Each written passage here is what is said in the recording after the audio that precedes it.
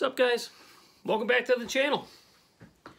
So, uh, group builds. I just, I can't, I can't say no. I, I, I might have a, I might have a problem, guys. I might have a problem. Um, so, you've probably already guessed it by looking at the thumbnail. Uh, this is my entry video into the Porsche group build that's being hosted by Chuck over at Chuck's Hobby Spot. This gentleman right here. Uh, and my good buddies, Lucas C. and Mr. BG. Um, you might be saying to yourself, self, why would Jason jump into another group build? He already has uh, the Street Machine group build um, and the Whirlybird group build going on. Uh, I have also thrown my hat into the Mustang group build.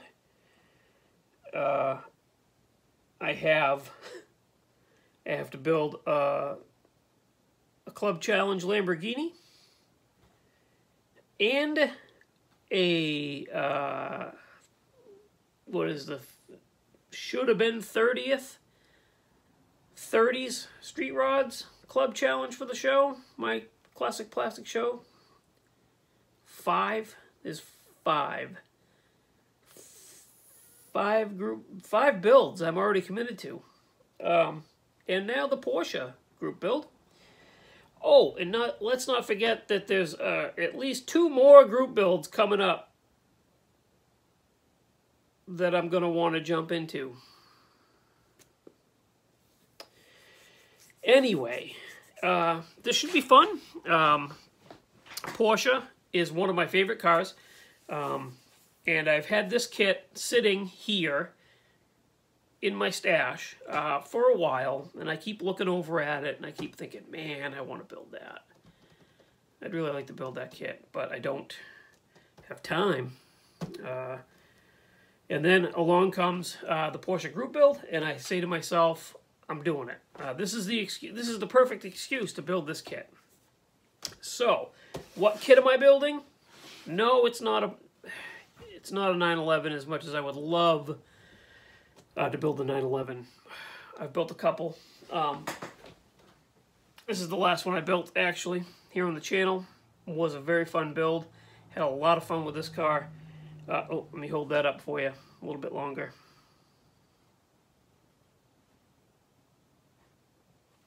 Had a lot of fun with that, um, but I'm not going to do another nine, nine, another 911. I am going to do this Porsche 904. I love this car. And when I found this kit, I was ecstatic to be able to pick up this kit. Sealed in the box, uh, so, real quick before I open up the kit and I show you, um, a little bit on the, I want you to go to Chuck's um, channel. It's linked in the description of this video. I want you to go there and watch his video uh, where he explains everything you need to know about the group build. Um, but, real quick, a quick summary. Um, anything Porsche, it can be a started kit runs from July 1st to September 30th. So that's a, that's a pretty good amount of time. So we should be able to get this done uh, without an issue. Um, anyway, uh, so let's open this thing up really quick. Uh, and um, I'm not going to flip the camera around or any of that, but I'm going to open it up and I'll show you what it is. How, how about some glare, guys? Holy cow. Um, so Get old hobby knife, cut that open. Oh yeah. Oh yeah. Love that. Love the smell of that plastic. This is a 1991 kit, by the way, guys. Um,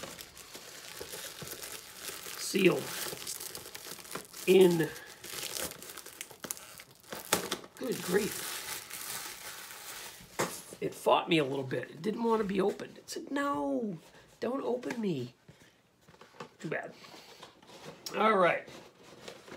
So, right off the bat, love these little cards. Free catalog. I saved these. These are cool. Uh, oh, okay, this kit is molded in some different colors. Well, that's different.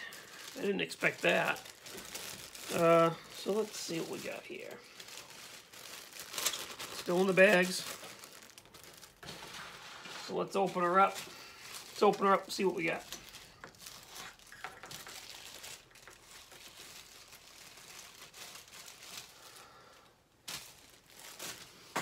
Do what Heather does. Throw that on the floor. Uh, okay, so this tree, you get your rear body work. It's molded in silver. Um, you would think, wow, that that's cool. You don't even have to paint it. Well, you kind of do because it's got the the mold injection streaks and stuff in it. So yeah, it's got to be painted. Even though I don't understand why they mold stuff like that. Just mold it in white, guys. Anyway, so the rear bulkhead section, some parts on there. That's that tree right there. Then you've got more body panels, wheel backs, spindles and brakes there. Not a lot to this kit, which is pretty cool. And then you've got, aha, the belly pan. Some other pieces and parts. Vents, whatnot. Pretty cool. Then you've got the front bodywork. Some more suspension pieces by the looks of it. That's a fuel tank. Got a little bit of flash right there we got to clean off. Looks pretty good though. The body looks really good. That's pretty cool. Pretty cool. So there's that bag. You've got your got some clear parts. Is that all that's there for clear parts? That doesn't make sense.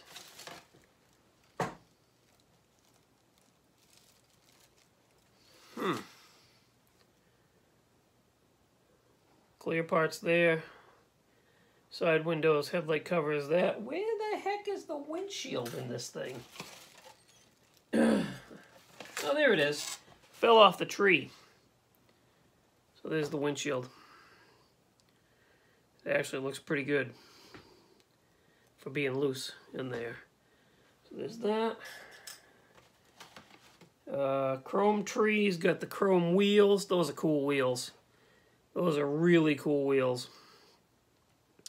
I love the um, kind of outlawish look to this car that it had.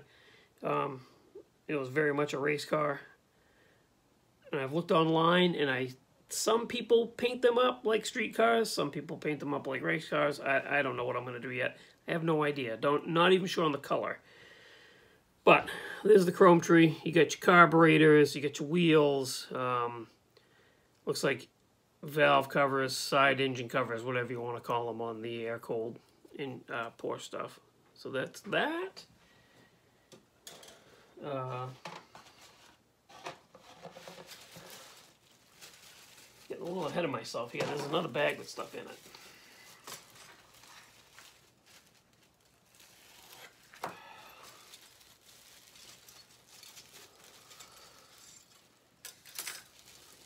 Video is getting a little bit longer than I wanted it to be, but that's okay. So this stuff is molded in dark gray. You got seats, rear bulkhead. Um, don't know what that is, but it's off the tree. Look at that flash. Look at looks like a radar dish. Um, frame rail, suspension pieces, little doodads, bebobs, whatever you want to call them. Um, steering wheel spring, suspension arms, looks like a steering column, that kind of stuff there. Uh, looks like engine parts, dashboard, that other piece. It must be an inside panel or something like that. Sway bars, that kind of stuff. Uh, That's that. On the floor. Oh, almost knocked everything on the floor. Uh, ugh. Gonna have to do something with the decal sheet. This decal sheet's crunchy. That's okay. I'll put some on. If I go race car route, I'll put some other numbers or something on it. Not a big deal. But there's your decal sheet. Uh, hard rubber, hard rubber tires, four of them. No name tires. Kind of decent looking tread. There's four of those. And then you got your typical Revell monogram instruction sheet. There it is. Um, lots of little pieces. It's a little car, so I expect that. Yeah, those those panels are side panels for the interior, so that's pretty neat. So that's that's it in a, in a nutshell. Quick, quick and dirty. Um, I'm undecided on a color. Uh, it will be built box stock. I'm not going to add a lot of detail only because I don't I don't think I have time uh, to do it justice. But it'll be a really good. Um, actually, I was gonna say it'd be a really good build for a box stock category at a show. But I don't know if I use different decals that would make it not box stock. I don't know. Either way, it's to be pretty much out of the box. Um, look for updates uh, here and there on color and build and stuff like that. But looks like a halfway decent little kit, guys. So there's my entry. Uh, go check out Chuck's Hobby Spot for the official video for this. Um, and wish me luck on getting yet another build done before the end of the year. Um, like I said, there is the September 30th uh, deadline. But you know, sometimes I think deadlines are like suggestions. You know what I mean? It's like, is what it is. Thanks for watching. Uh, drop a comment. Give me a thumbs up. As always, go check out Mark at Hobby Nut Models. He's got a bunch of Porsche kits over there if you wanted to jump in on this and you don't happen to have a kit. So go check out his website. Um, and yeah, we'll talk to you again on the next one.